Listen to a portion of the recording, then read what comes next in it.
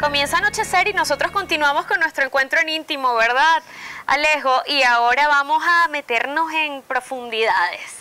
Aprovechando que se puso el ambiente romántico Sí. con esta iluminación, ¿cierto? Esto es perfecto para hablar del amor. Del amor. Y yo quiero que me cuentes de Dina Margarita Arias, que es esa mujer que tú viste caminando por la calle. Tú ibas en un carro, me parece. Y tú paraste el vehículo, dijiste, para, para, para, para, para, ya va, yo tengo que conversar con ella. ¿Eso fue así? Sí, sí fue así. Nos presentó un amigo en común, Alvarito de Chine. Estábamos, eh, estábamos en el carro, yo la vi caminando y me pareció muy bonita. También a simple vista se veía que era un ser humano muy especial. Y por eso eh, le dije a mi amigo que me la presentara. Y de ahí en adelante fuimos inseparables. Nos enamoramos, empezamos a compartir muchísimos momentos. Ella es mi apoyo en cada etapa de mi vida. Y Es de Santa Marta igual que tú, muy ¿verdad? feliz con ella. Claro, los dos somos de Santa Marta. Somos novios desde hace mucho tiempo, ya tenemos tres niños, pero nuestros inicios también eh, fueron un poco difíciles porque, bueno, eh, el papá la sobreprotegía mucho y no me permitía compartir con ella el tiempo que yo hubiera querido, las citas eran muy limitadas. Pero poco a poco él se fue dando cuenta de que para mí ella era la mujer de mi vida, que yo iba a respetarla, iba a amarla, iba a compartir todo mi tiempo con ella y también que íbamos a tener tres hijos. Él todo lo vio en mi mirada. Ajá, él sabía, él sabía, pero tenía que hacer su papel de malo, ¿no? Del suegro malo, Sí. que te eh, pone horarios para las visitas y todas esas cosas. Pero, a ver, eh, perdona que me quede un poco eh, insistente en este tema. ¿Fue así como me lo contaron? ¿Tú venías en un carro y la viste pasar? ¿Eso ocurrió? Es decir, el, tipo tímido del que tú me has hablado se llenó de valor para bajarse de un vehículo y saludar a una completa extraña. Fíjate que eh, Santa Marta es una ciudad muy pequeña, entonces ahí como que todos nos conocemos y yo ya había escuchado de ella, pero personalmente no la había visto. Eh, en ese momento yo, yo no me bajé, pero, pero después yo le pedí a Álvaro que me llevara a su casa para presentármela. Fíjate que él fue el puente porque realmente, como yo te digo, siempre tuve mucha timidez. Pero, pero en ella, desde que cruzamos miradas, pude notar que teníamos un vínculo muy, muy hermoso, un vínculo eterno, por decirlo de alguna manera. Y desde que la vi supe que era la mujer de mi vida. ¿Y no, eres hubo, no fiel? hubo dudas, ¿Eres fiel hoy completamente. Porque, por ejemplo, con ustedes los artistas suele suceder que tienen tantas giras, que están expuestos a la nocturnidad, a vicios. Ya tú me decías que cuando vas a un concierto eh, no sueles tomar, pero hemos visto casos también en los cuales pues hay, hay tentaciones, ¿no? ¿Cómo haces para mantenerte al margen de todo eso y en una gira que conoces tanta gente, mm, no perder el foco y el respeto por casa?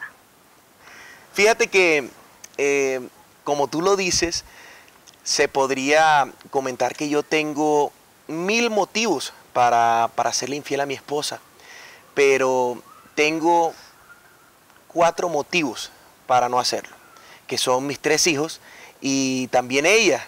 Entonces para mí es muy importante la estabilidad emocional que me brinda mi familia, para mí compartir momentos con ellos en mi casa, en mi hogar, es algo que no cambio por nada. Por eso, a pesar de que no puede ser cantidad de tiempo, trato de que sea calidad. Sé que en el mundo del espectáculo eh, se viven ciertas situaciones que tal vez eh, se malinterpretan y también de pronto muchos artistas ceden a, a las tentaciones, como lo dices tú.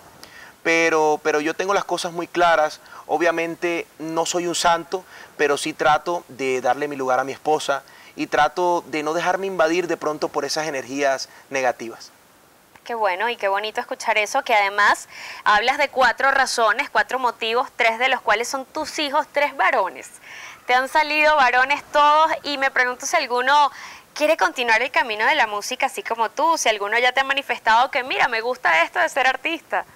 Bueno, mi segundo hijo Samuel David está muy entusiasmado con la música, él canta de vez en cuando, tiene una voz muy hermosa. Alejandro Mario, que es el mayor, también canta, pero se inclina mucho más por el fútbol.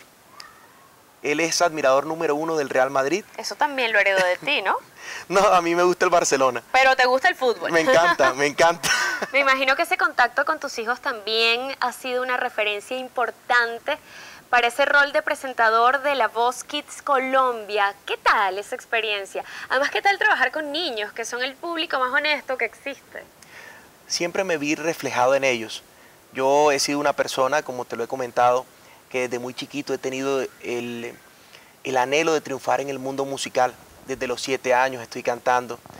Entonces al ver a todos estos angelitos con un talento tan impresionante, con esas voces, ver cómo interpretan tantas canciones y escucharlos en diversos géneros musicales, eso no tiene precio y me transporta a mis inicios en el mundo musical. Por eso La Voz Kids fue un proyecto tan hermoso para mí, Además, tuvo el apoyo de todos los televidentes, estuvo en los primeros lugares también de audiencia. Y, poco a poco fui tomando como más confianza en este rol de animador, que tiene mucha exigencia y también me permite mostrar mi personalidad de una manera más clara. Claro. Y no solamente es mostrar tu personalidad, creo que también cuando eres un animador tienes que eh, aprender a camuflar ciertas emociones, ¿no? Cuando estás triste, poner la mejor de las caras. ¿Eso te ha pasado? Tienes toda la razón. Me tocaba hacerlo mucho porque eh, en este concurso de canto hubo muchas eliminaciones. Todos los niños son muy talentosos y todos merecían llegar a la final, pero obviamente solamente tres podían pasar a esta fase. Y nos tocaba despedirlos en muchas galas.